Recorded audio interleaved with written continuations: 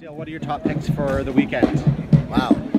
There's so many to choose from, um, but if I'm going to keep it short, I guess I would say uh, Broken Social Scene, because they're just great buds. Zeus, Terra Lightfoot, of course. Um, uh, Dirty Nil, always put a good show on. But yeah, uh, Elliott Brood, they're, they're really fantastic, and um, Wintersleep. Uh, yeah, that's about, uh, that's just scratching the surface.